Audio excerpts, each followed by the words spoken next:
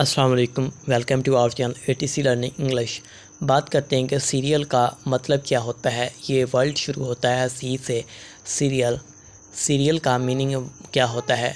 Meaning of this word cereal cereal के spelling आइए discuss कर लेते हैं। C E R E A L cereal cereal का मीनिंग क्या होता है? सीरियल का मतलब अनाज होता है। जी हाँ नाजरीन, सीरियल का मतलब अनाज होता है।